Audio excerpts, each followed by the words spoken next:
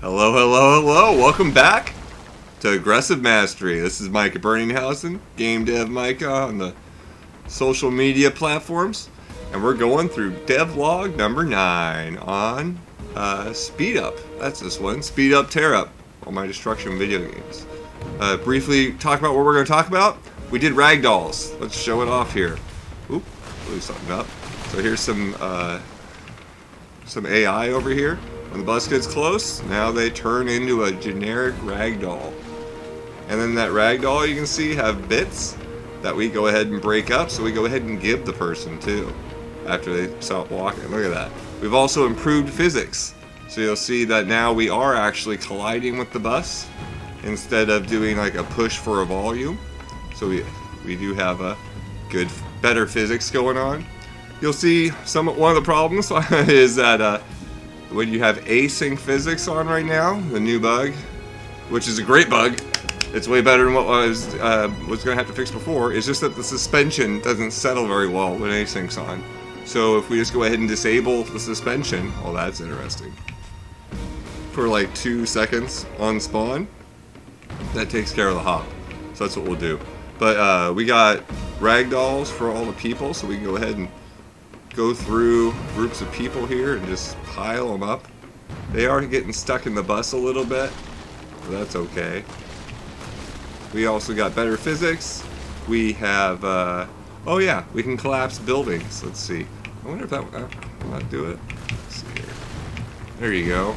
We start seeing how it's collapsing the building down. And this is the first proof of concept for collapsing buildings. What happens is, let's go inside this building over here, I'll show you, is that inside every building, or most buildings anyway, are a uh, set of elevators and stairs. And once those elevators or stairs, that mesh, is woken up from its sleeping ISM, that triggers the building to collapse. So you can drive around inside a building, which we're going to try and do here, and you can see now the walls are pushing away from the bus, or laying on top of the bus, instead of what they were doing before, which was like, basically would be just sort of pushed away from the bus but never impact it. Now they can lay on it. And that block inside here, that's kind of dark, is the stairwell. And we'll go drive through the stairwell and you'll see the building will start to collapse on us. We only have about five or ten floors of every building loaded in from the save file that were generated previously, that save file system is working well. We do have one bug, which is that the uh, the roofs and uh, roof equipment are not deleted. Uh, that's fine. I just gotta go delete them. I know how to do that. It's just something that I'm not doing on the loading from save, where I, anyway, did on generation. Cool. So yeah, now we have it so that also vehicles break up. So your ragdolling from the player characters or the uh, animated characters that puts them into sleeping static meshes on the ground. Let's break some more up here. And we do the same thing for vehicles too. So we'll run over these people. Oh, collapse another building by accident. So that building collapsed because we woke something up and it got fell over and hit the hit the elevator shaft in there. So you can see we can pretty easily collapse buildings.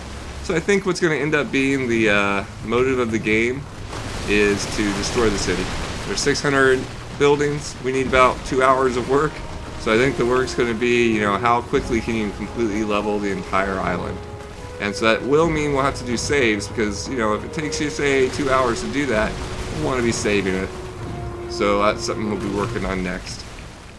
So you can see here, the blast radius there and these chunks of cars is what I was going to talk about. And here you can see cars are exploding. Where prior they would turn into uh, uh, like matrix visual effects. I'm turning away because what we have set up, well, is a very annoying camera for the car is, is one thing we have set up. The other thing we have set up is that the matrix cars LOD from actors to static meshes or uh, graphic away when the camera's not looking at them. So we just took that trigger effect and instead we're spawning in a small uh, destroyed, burned vehicle in place here. And then we blow that up and that makes up these car chunks.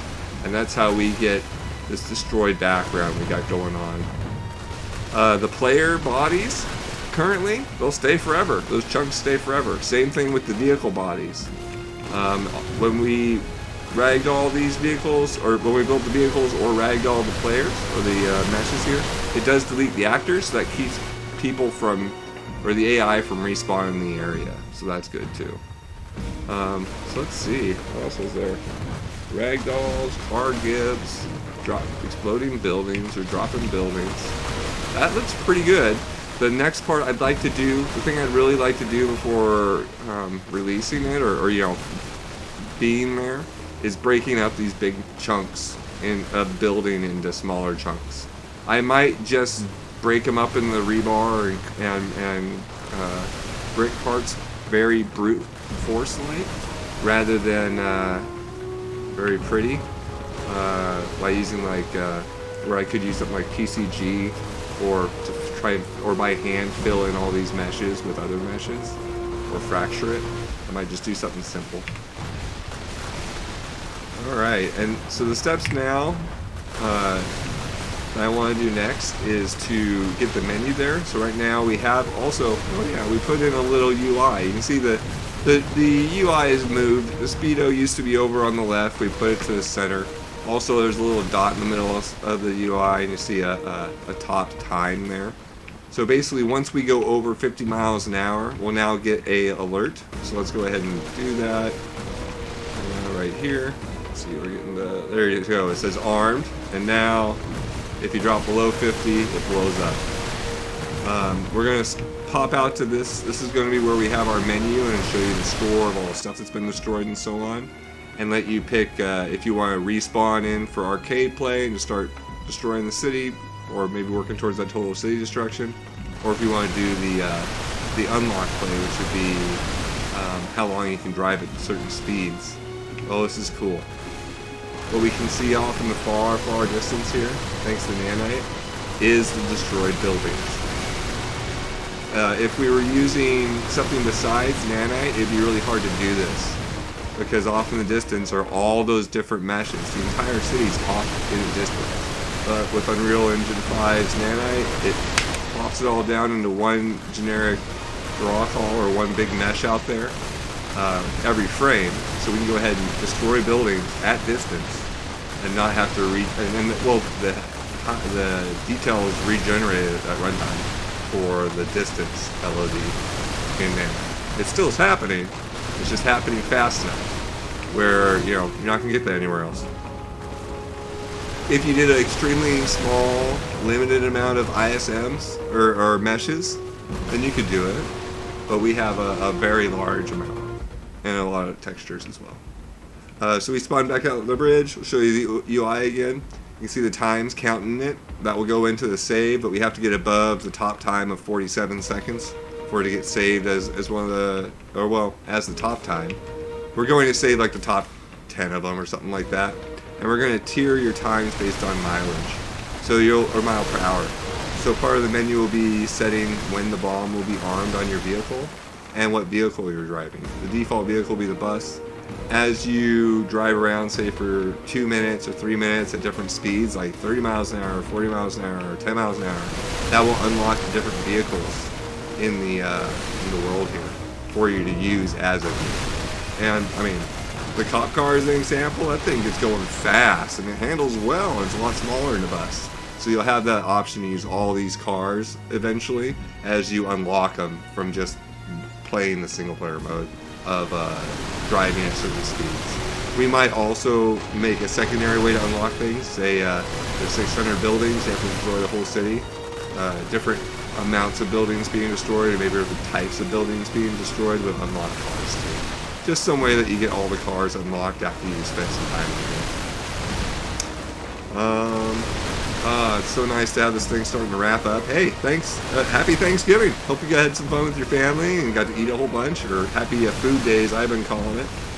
Uh, I'm looking forward to get. I'd like to get this thing out this year, but at the same time, you know, Christmas sales are pretty horrible for game dev and all that, so it might be like a January release instead, which is going to be slow too. I don't know. I'm just going to get it out there as soon as I can. We're getting really close here.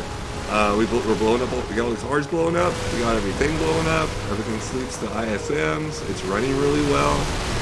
My mom was playing it, we can play it on a controller, I'm going to go ahead and make all the controls work on a controller. I'd like to make the UI uh, language free.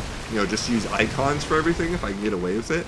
That way it can be close to a barrier-free game for you know controller and uh, and language. So that'd be sweet.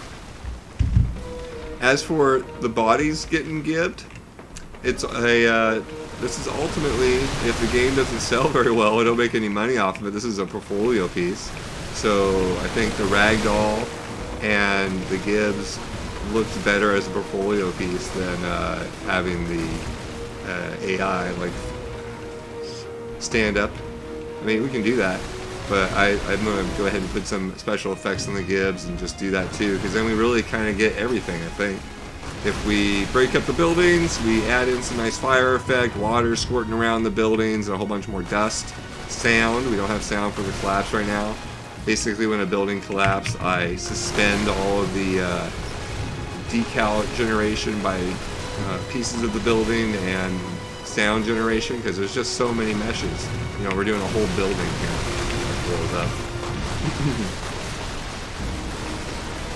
and so we'll we'll figure out and just put in some ge a generic single sound for that and uh, do some other things just to make it a little more livelier and count. We'll start counting up the score.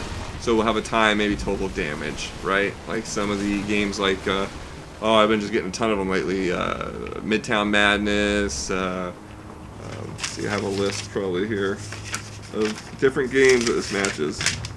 But that's alright. Long story short, thanks for tuning in. Hope you had a great Thanksgiving. Wanted to get this little update up here. What we're going to do is go through and do more breakup, get the trees to break up, light on fire, break up the buildings, sleep everything to ISMs, get that menu in there, let you pick your different cars, and then save everything out so we can have the two play modes of destroy the entire city, level it, and then uh, also go fast at different speeds. And what those will give you is a top time score, and also they'll unlock vehicles for you to play around and get scores with too. And that's the complete speed up game. Please like and subscribe. I'll see you soon. How do I stop this thing? There we go.